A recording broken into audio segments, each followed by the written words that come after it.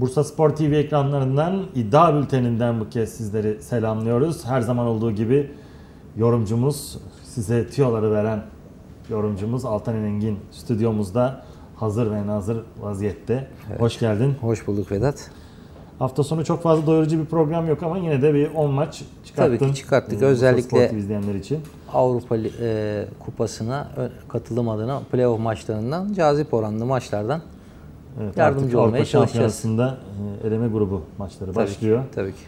Ee, Türkiye'de ilk maçını oynayacak. Evet. Ama önce Ermenistan İrlanda Cumhuriyeti maçını seçmişsin. 104 kodlu maç. Evet. İstersen onunla hemen başlayalım.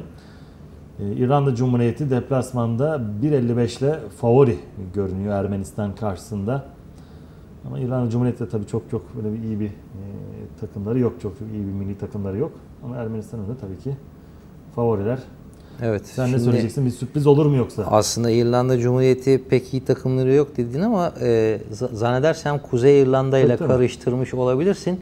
E, son playoff maçında Bir Şöyle diyorum. Eski İrlanda ile de karşılaştırıyorum ben. Tabii Eskiden eskiden daha, yüzden. bir ada futbolu hakimdi. O da o konuda olabilir ama özellikle Dünya Kupası'na katılmayı hak eden Evet. çok güzel bir mücadele ortaya koymuşlardı Trapattoni önderliğinde ki hatırlıyoruz o Henry'nin Herne aldı evet üzerinden. eliyle attığı golle Dünya Kupası'na katılımını engelledi resmen. Tabii İrlanda Bu kez önemli aynı grupta değiller inşallah. Önemli yok değil bu sefer olmamaları lazım. Ee, E grubunda mücadele ediyor iki takım. Tabii Ermenistan'ı da geçen sene e, Dünya Kupası'na katılım adına oynadığımız maçlarda bizim gruptaydı. Yakından tanıyoruz. Özellikle iç sahada zorlu rakiplere karşı Çok daha çok defansif bir oyun anlayışı tercih ediyorlar. Hani golü yiyene kadar bir direnç göstermenin mücadelesindeler. Tabii Ermenistan milli takımına şöyle birey birey oyuncu oyuncu baktığımız zaman öyle çok önemli takımlarda oyun yani oynayan bir oyuncusu yok. Tabii İrlanda Cumhuriyeti'nde özellikle Premier Lig'de top koşturan çok tecrübeli oyunculara sahip. Yine Championship'te adada oldukça etkili takımlarda e, futbol oynayan önemli oyunculara sahip İrlanda alır bir milli zaman. takım. Ben İrlanda Cumhuriyeti'nin kazanmasını bekliyorum. Yani 1.55 gibi bir orandan Ermenistan direnç yapacaktır. İlk yarıdan sıfır olur mu? Hani ilk yarıdan 0, ikinci yarı 2 gibi bir tercih de denenebilir. Hani çok yüksek orandan maç İlk e, yarıdan sadece tercih- sıfır oynanırsa 1.95 bir oran var. Sıfırdan 2 olursa 3.75. 3.75 gibi bir oran var. Yani 3.75'te 0'dan 2 riskine girilir mi? Ona da bir şey diyemem. Sistem Ancak- kuponu yapıyorsanız Tabi denenebilir. Sistem kuponunda 0'dan 2 tercihi denenebilir. Yalnız İrlanda Cumhuriyeti'ni oluşturan, milli takımı oluşturan oyuncular dediğim gibi Premier Lig'de, Championship'te önemli e, takımlarda oynayan işte oyuncular. mini- mini takımları nedense Ancak Trapattoni ile özellikle son, son- sezonda son çok sezonda ciddi bu, anlamda bir çıkış evet, yakaladılar. yani bu çıkışın ellenemez, evet gidiyorlardı ama baktığımızda hani böyle bir e, genel olarak genel manada tabii ki tabii ki yine böyle tam totali aldığımız zaman çok e, aman aman başarıları yok. Ancak son bir senelik kadro yapısı itibariyle Trapattoni önderliğinde bence Dünya Kupası'na gitmesi gitmeyi hak etmişlerdi ve orada da iyi işlere imza atabilirlerdi diye düşünüyorum. 2 veya sıfırdan 2 mi diyelim? 2 veya 0'dan 2 diyebiliriz. Çünkü Ermenistan dediğim gibi evinde de oynasa e, kapanarak oynayacaktır bu karşılaşmada. Dolayısıyla bu tercihlerden hangisini gönlüne el veriyorsa izleyenlerimizin kullanabilirler. Ve kendi milli maçımıza geçiyoruz. Kazakistan-Türkiye e, mücadelesi. 1.20 ile Türkiye ağır favori. Evet. Tabii ki bu deplasmanda 4.50 beraberliğe açılan oran 7 de Kazakistan'a verilmiş. Bir 6-0'lık galibiyetimiz var bize. Ee, Bir Kazakistan. 6-0 bir 4-0'lık Evet, galibiyetimiz Ersun Yanal var. dönemiydi değil mi o 6-0'lık galibiyet öyle hatırlıyorum. Tam ben hatırlayamadım yıl Vedat. önce Tam Ersun hatırlayamadım. dönemdeydi. Ee, bu 6-0'lık galibiyet. Üste açılan oran 1.40, altta da 2.05. Evet. Valla şimdi öncelikle hani bu maçın tabii ki favorisi mutlak milli takımımız. Yani şartlar ne olursa olsun milli takımımız bu karşılaşmayı kazanması gerekiyor. Kaldı ki grupta en önemli rakibimiz Almanya diye yine diyerek söylüyoruz. Çoğu yorumcu da bu şekilde bir yorum O yapıyor. zaman bu maçlardan Yani böyle maçlarda düşünmemek lazım. Söz konusu olmaması Fakat gerekiyor. benim özellikle e, kafama takılan şu soru var. Yani milli takıma oyuncu seçiminde kriter nedir? Neye göre oyuncuyu milli takıma seçilir? Ben şimdi e, Spor Toto Süper Lig'de top koşturuyorum. Herhangi bir takımda mükemmel futbol oynuyorum. Ancak milli takımı kadrosuna çağrılanlara baktığımız zaman 14-15 oyuncu hep aynı oyuncular. Form durumları, sakatlık durumları hiçbir şekilde etkilemiyor. Yani burada ciddi anlamda bir sıkıntı oldu benim içimde. Evet, Yani Kazım Hiddink- Kazım takımda Volkan Şen yok. gerçekten çok komik. Yani Volkan Şen'i tartışmam bile inanın hani milli takıma alınsın alınmasın konusunu zaten tartışılacak bir tarafı yok. Hani Kazım Kazım'ın ne yaptığını gördük. Bir Young Boys maçı 5 dakikada 2 sarı kart, 2 tane sarı kart, kırmızı kart dışarı. Yani bu adam Son milli takımda. Volkan geçen seneden beri çıkıştaki periyodunu sürdürüyor. Mükemmel maçlar çıkartıyor. Milli takımda değil. Ve çok Ve- da defansa da yardım ediyor. Tabii ki Öyle mi? defansif yönü de Defansif aynı şekilde görevini yerine bitirdikten ve sonra yine geri dönüşlerini de e, yapmaya gayret ediyor. Ben Volkan için söylemedim. Yine Anadolu takımlarında çok iyi mevkilerde iyi maçlar çıkartan birçok oyuncu var. Yani şimdi bakıyorum bugün milli takımın sağ beki Sabri. Hani geçen sezon bile doğru dürüst maç oynamadı. Nasıl oluyor da Sabri milli takımda oluyor? Ha biz hani sadece Sabri için de söylemiyoruz. Yanlış anlaşılmasın. Yani şimdi mesela Galatasaray defansından bir milli takım defansı oluşturuyorsunuz. Bugün Galatasaray defansı bu sezon gol yemediği bir maçı yok.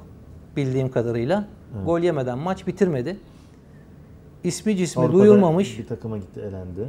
İsmi cismi Karpati Lviv takımı. Hangimiz tanıyorduk? Artık tanıyoruz. Bu milli takım şimdi Hiddink e, oluşturuyor. Yeni bir kan, yeni tabi destekleyeceğiz Hiddink milli takımı Avrupa Şampiyonası'na e, katılması için ne gerekiyorsa her türlü desteğimizi vereceğiz ama bu tür soru işaretleri yani bizler bir futbol sever olarak ciddi anlamda kafamızda soru işareti bırakıyor. Evet maçla ilgili tahmin Maçla ilgili e, tahminim benim açıkçası 2.5 gol altı olacak. E, ben en cazip seçeneğin e, 2.5 gol altı seçeneği olacağını düşünüyorum. 2.05 gibi bir oranı var. Kazanırız. Ha, 1-0 ya da 2-0 gibi kazanırız. Kazakistan'ın bize gol atmasını beklemiyorum açıkçası. diyecek. Tabii. Şimdi Ama erken Kazakistan'ın gol de da yine farkı getirebilir. Öyle bir durum da var. Tabii yani netice itibariyle ben biraz oyunun kısır geçeceğini, biraz zor, zorlanabileceğimizi de düşünüyorum açıkçası Kazakistan'a karşı. Çünkü takımda en az 13-14 tane oyuncu ismi sayabilirim ki şu an çok formsuz durumda. Tabii bu nasıl yansıyacak sahaya bilemiyorum. 2.5 gol altı 2.05'ten denenmeye değer. Ama tabii ki milli takımımız netice itibariyle bu karşılaşmanın favorisidir. Handikaplı sonucunu da denenebilir. 2-0'lık bir Türkiye galibiyeti, iki farklı bir Türkiye galibiyeti de denenebilir. Ama ben yani ciddi anlamda biraz zorlansak da kazanacağımızı düşünüyorum. 1.20'den Türkiye oynayacağımıza ya handikaplı seçeneğe yönelelim Ya da alt. ya da 2.5 gol altına e, yönelelim diye düşünüyorum. Bu tercihleri vermemde de ciddi anlamda hani oyuncu tercihlerinde milli takım teknik direktörünün bence hatalı olduğunu düşünüyorum. Ve Moldova Finlandiya maçı yine Avrupa Şampiyonası eleme e, grubundan bir maç. 2.90 açılmış Moldova'ya. Finlandiya'ya deplasmanda 1.90. Evet. İlginç bir grup e, grupta. Nasıl Şimdi bu- bu karşılaşma da çok- e, evet. Hollanda Macaristan. Öyle değil mi? Evet. Gerçekten ilginç, bir grup, olmuş. Finlandiya, Hollanda, İsveç, Macaristan, Moldova, San Marino hep böyle sanki aynı bölgeden Toplanmış takımlar, Evet. toplanmış öyle değil mi? Evet. Doğru bir tespit. Ve aşağı yukarı e, futbol yapıları da birbirlerine benzeyen takımlar. Hani Hollanda'yı biraz ayrı tutacak olursak diğer takımların en azından bu şekilde bir benzerlik gösterdiğini söyleyebiliriz. Şimdi Moldova takımının özellikle son 4 hazırlık maçına şöyle bir göz attığımızda sadece bir kez kazanabildiğini görüyoruz. İki beraberlik, bir yenilgi almış. Şimdi Moldova'nın e, milli takımı da aşağı yukarı Moldova'nın e, yine Avrupa temsilcisi Şerif takımına benzer bir oyun yapısı olduğunu söyleyebilirim. Hani oyunu oynatmamaya yönelik kapanarak oynayıp kontra ataklarla e, sonuca giden bir oyun yapısı var. Oldukça da e, oyuncuların fizik direnci yüksek. Finlandiya takımı da yine aynı şekilde son derece fizik gücü yüksek oyuncular. Onlar biraz daha yüksek toplarla etkili olmaya çalışıyor. Moldova'nın son 4 oynadığı maçın 4 maçını incelediğimizde 3 günün 2,5 gol altı bittiğini görüyoruz. Finlandiya'nın da son 5 maçını inceledim. 4 maçının altla bittiğini görüyoruz. Dolayısıyla bizim için en mantıklı tercih bu karşılaşmada 2,5 gol altı olur gibi gözüküyor. Çok fazla alt 1.45'ten. bitmiş bu sefer Evet bu sefer üst olabilir diye de bir mantık kurulabilir. Ama 2,5 gol altı bence bu karşılaşma için mantıklı sonuç olur. Evet 113 alt diyoruz ve 118'e geçiyoruz. Karadağ Galler Evet. mücadelesi 1.75 ile Karadağ favori görünüyor kendi sahasında. 3.30 açılmış Galler'e. Bu eski Yugoslavya e, Cumhuriyetlerinden Evet. biri daha onun maçı Karadağ Galler mücadelesi. Tabii bu karşılaşma da açıkçası çok zor bir karşılaşma bana göre. Her ne kadar e, Karadağ ismi çok fazla gündemimize gelmiyorsa da son dönemde yetiştirdiği iyi oyuncular ve son dönemde aldıkları iyi sonuçlar var Karadağ takımının. Bu iki takım hazırlık maçında karşı karşıya gelmiş ve 2-1'lik bir üstünlükle Karadağ sahadan galibiyetle ayrılmış. Karadağ oynadığı e, son 5 hazırlık maçının da 3'ünü kaybetmiş. E, son 5 hazırlık maçında 3'ünü kaybetmiş. 2 galibiyet almış bir takım. Galler milli takımına baktığımız zaman Galler de e, son 4 hazırlık maçını oynadığında ikisini kaybederken ikisini de İskoçya ve Lüksemburg'a karşı farklı skorlarla kazandığını görüyoruz. Tabi Galler'in kadrosunda da az önce İrlanda gibi, İrlanda Cumhuriyeti'nde söylediğim gibi Premier Lig'de ve Şampiyonşip'te e, çok fazla top koşturan oyuncu var Galler takımında. Her ne kadar burada Karadağ-Galler karşılaşmasında favori Karadağ gibi gözükse de benim tercihlerim burada sırasıyla 2.5 gol altı ve beraberlik 3-10'dan denenebilir sistem kuponlarında özellikle. Galler bir sürpriz yapabilir diyorsun. hatta Yapabilir. Galler takımı e, gerçekten iyi oyunculardan kurulmuş bir kadroya sahip. Ve Slovakya Makedonya maçına geçtik. Slovakya e, Çek Cumhuriyeti'nin düşüşü olduğu dönemi çok iyi e, kullandı. Evet. Çok daha iyi durumdalar Çek Cumhuriyeti'ne göre. 1.45 ile Makedonya önünde favori görünüyor. Ev sahibi ekip 3.40 beraberliği açılan oran 4.60 Makedonya'ya. İki takım en son 2003'te karşı karşıya gelmişler. O yüzden hiç dikkate almıyorum. Evet, İstatistik oldukça hiç eski gerek bir yok tarih. 7 yıl öncesi Evet. maçlarıyla. Evet alalım yorumunu. Tabii Slovakya son Dünya Kupası'nda özellikle İtalya'yı yenerken 3-2'lik galibiyetle e, gruptan çıkmayı başardı ve o zaman da o skorla ciddi anlamda da sükse yaptı. Tabii bu karşılaşmaya iki tane önemli golcüsü e, kadroda yok. Sestak ve Vitek Ankara gücünden de tanıdığımız oyuncular bu e, bu karşılaşmada kadroda yer almayacak. Slovakya'nın forvet hattında Holosko, Hamsik gibi oyuncular e, mevcut görevi üstlenecekler gibi gözüküyor. Bu manada gol bulmalarında biraz sıkıntı yaşayabilirler. E, Makedonya takımı da oldukça formda son 10 e, maçını şöyle inceledim. Makedonya'nın bir kez yenildiğini gördüm. 6 galibiyet, 3 beraberlik aldığını söyleyebiliriz. Tabi Goran Pandevli Makedonya takımı Slovakya'ya sürpriz yapabilir mi? Gerçekten çok dirençli oynayacaklarını düşünüyorum. Sürpriz konusuna bir şey diyemem ama 2.5 gol altı bence bu karşılaşma için çok mantıklı seçenek olarak gözümüze çarpıyor. 2-3 gol aralığı da olabilir aslında. 2-3 gol aralığı da tabi 1.70 oranıyla da denen, denenmeye değer. Oldukça e, tutma ihtimali yüksek bir ihtimal gözüküyor.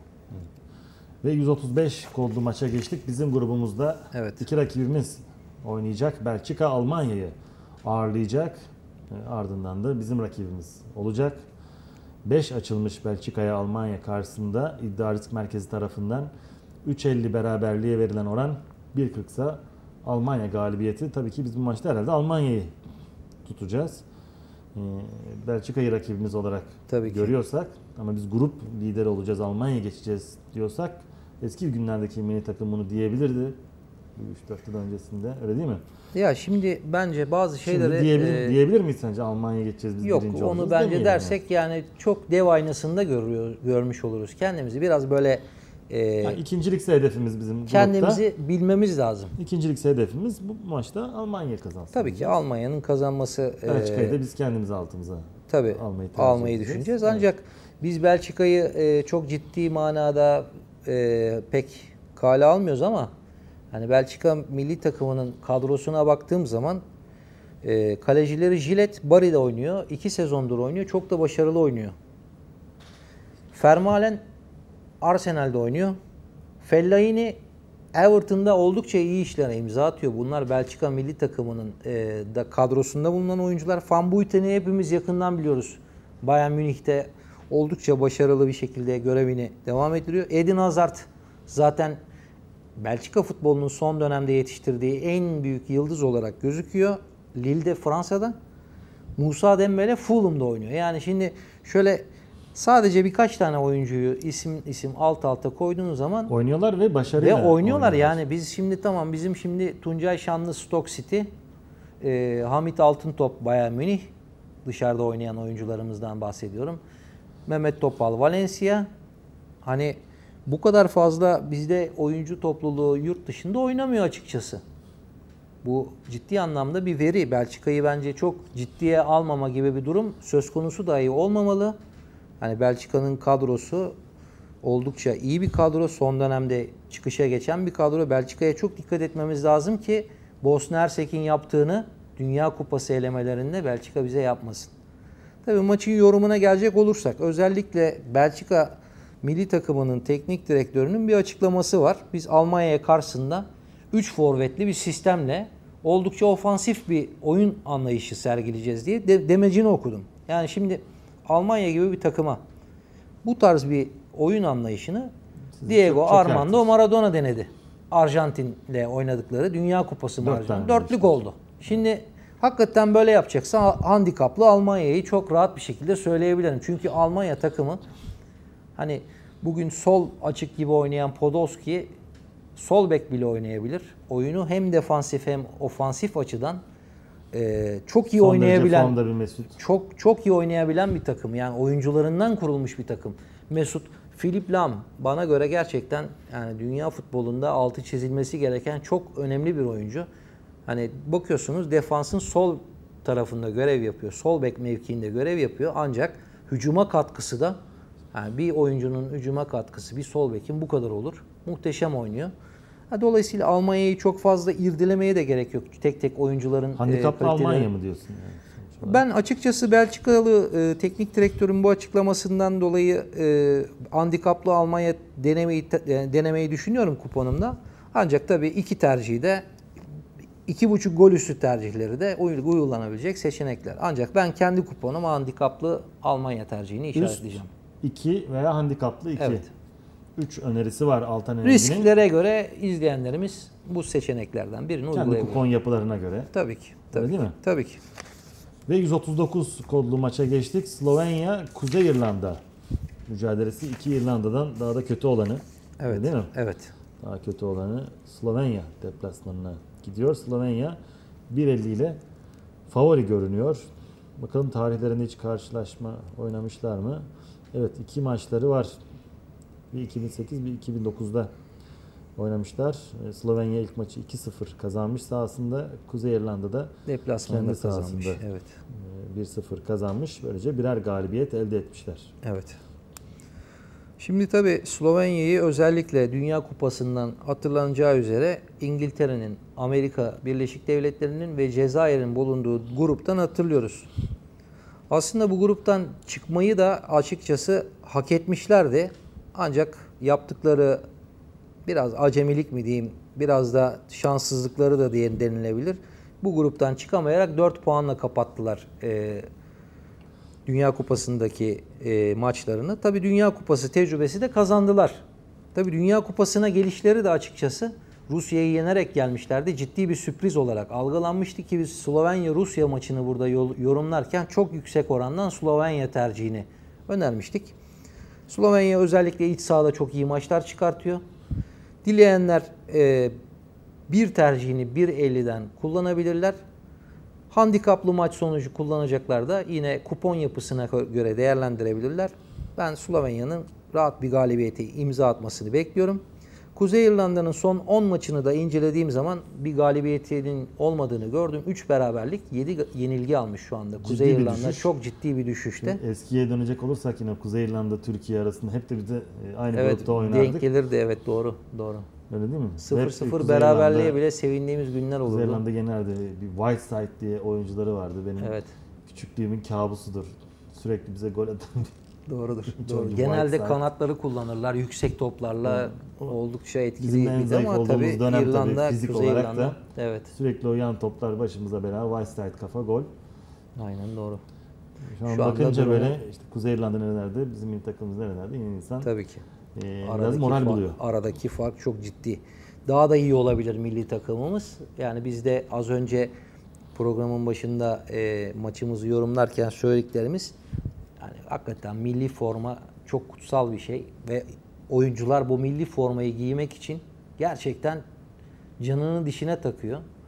En basitinden şimdi Sabri Sabek oynuyor diyoruz. Ben lafı aslında Ali Tandoğan'a getirecektim. Yani kat ve kat Sabri'den fazlasıyla hak ediyor e, Son milli formayı formda. giymeyi. Yani bütün performans Sivas'ta ortada.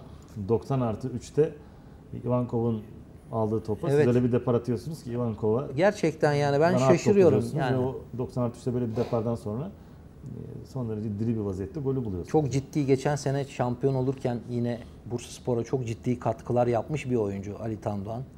Mükemmel bir oyuncu. Hani hakikaten kıstası nedir bu milli takımın? Yani yarın öbür gün bu oyuncular küse de bilirler, almıyorlar diye. Yani Nejat Biyediş de olay gazetesinde demiş Ali, Ali Tandoğan da milli takımda olmalıydı diye. Doğrudur yani çok kişi bu görüşlere katılıyor. Çünkü futbolun dili bir yani netice itibariyle görünen köy kılavuz isten, isten istemez yani bunu açıkçası ben çok yadırgadım. Ama tabii milli takımımız Umarım hoca böyle bir tercih yapmış. içinde bulunur.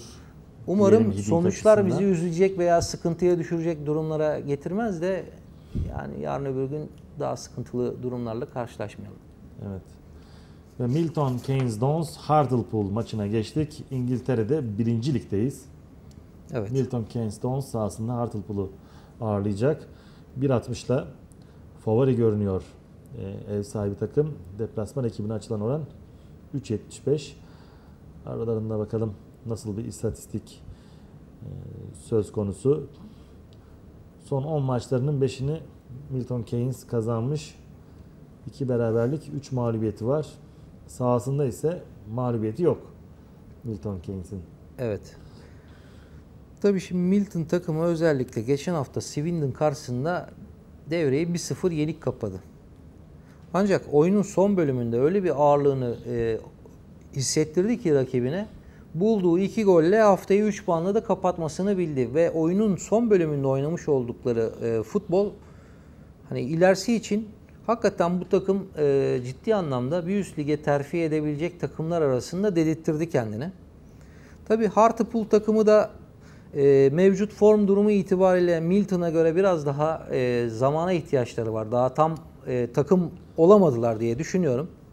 Dolayısıyla sahasında Milton Keynes'in oldukça e, ağır bastığını düşünüyorum. Son 10 mücadelesinden 5 galibiyet çıkartmış e, Milton Keynes. Bir galibiyet daha çıkartmaya çok yakın diyorum. 1.60 oranda gayet cazip. Dolayısıyla bir tercihini ben izleyenlerimize önermek istiyorum. Ve 219 kodlu maç yine İngiltere'de birincilikteyiz. Southampton Rochdale'ı ağırlıyor. 1.35 ile ağır favori Southampton sahasında benim de sevdiğim takımlardan biridir. Evet, geçen sezon oldukça güzel kazandırmıştı ancak sezona giriş itibarıyla e, ilk maçlarında bizi yanıltmışlardı Southampton takımı. Onlar da çok ciddi anlamda bu ligin şampiyonluk adayı ancak teknik direktörle bir yollarını ayırma durumları var. Lige beklendiği gibi başlanmadığı için. Ancak o teknik direktörle yolları ayırdıktan sonra Bristol de, Rovers deplasmanından 4-0'lık bir galibiyetle geldi Southampton. Tabii içeride bir takım problemler olabilir. Ancak ligin yeni takımı Rochdale takımı daha yeni yükselmiş bir takım. Yani Southampton karşısında çok şanslı olacağını düşünmüyorum. Ben handikaplı tercihten Southampton galibiyetini izleyenlerimize önermek istiyorum. 219 handikaplı 1. Evet. Ve 221 kodlu maç. Bugün ele alacağımız son maç, yorumlayacağım son maç. Walsall Colchester maçı İngiltere'de birinci ligdeyiz. E, Puan sıralamasında birbirini takip eden iki takım ikisi de iki takım da ilk 4 maç sonunda 6'şar puan topladılar liglerinde. Colchester Walsall mücadelesi e, Walsall'ın sahasında oynanacak ve hemen karşılaştırmalara bakalım istatistik kendi aralarında. Son 8 maçta 4 kez Walsall kazanmış. Beraberlik 1. Colchester'ın galibiyet sayısı ise 3 ama sahasında Walsall Colchester'a karşı üstünlük sağlamış durumda. Evet. Tabii şimdi Walsall takımı özellikle geçen hafta Brighton deplasmanından 2-1'lik bir yenilgiyle ayrıldı. Hafta içi oynanan Trafik Cup mücadelesinde de evinde İngiltere 2, bir lig altındaki takıma 2-1 e, yenilerek Chesterfield'e oldukça yani kötü bir izlenim bıraktı. Tabii Colchester özellikle haftayı evinde Carlisle'ı konuk ettiği karşılaşmada bir bir berabere kalmasına karşın ligde oynadığı 4 maçtan yenilgi yüzü görmedi şu ana kadar. Dolayısıyla Colchester'ın ben buradan puan ya da puanlar alabileceğini düşünüyorum. Dileyen izleyicilerimiz 2-3 gol aralığını işaretleyebilirler 1.70'ten. Sürpriz isteyen izleyicilerimize de 2.60'tan Colchester galibiyetini ben önermek istiyorum. Sürpriz bir Sürpriz öneri. bir öneri, Ciddi, yüksek bir oran. Yüksek bir oran. Teşekkür ediyoruz Ben sana. teşekkür ederim Vedat. Umarız e, bakalım senin yapacağın, e, senin tahminlerin ve kendilerinin e, katacağı hislerle, Tabii ki tabii ki. Şimdi tahminlerle yapacakları kuponlar tutar. izleyenlerimiz de 10 ilave maç edecek tabii verdik ki. değil mi bu hafta? 10 maç e, seçtik. Bu maçlardan yine ilave edebilecekleri kendi tuttukları maçlar da olacaktır. Umuyorum e, Ama şanslı İngiltere bir- Ligi'nden ve şu Dünya Kupası, Avrupa Şampiyonası elemelerinden şaşılmasın bence. Daha Tabii alt liglere böyle çok karışıyor. gitmenin manası yok. Evet çok karışıyor. Çok zor e, onları Hata yapma analiz oranınız etmek. artıyor o zaman. Evet. Sürpriz oranı Olmayacak artıyor. maç yakıyor. Dolayısıyla program bu hafta sonu zayıf olabilir. Önümüzdeki hafta oldukça zengin bir program bizi bekliyor. Yine hafta içi çok zengin bir program bizi bekliyor. Bunun bilincinde olsunlar. Buna göre kuponlarını yapmalarını öneriyorum. Herkese bol şans. Tekrar teşekkür ederiz. Ben sana. teşekkür ederim Vedat. Bursa Spor TV ekranlarında bir iddia bültenin daha sonuna geldik. Bir başka yayında yine sizlerle birlikte olacağız. Şimdilik hoşçakalın.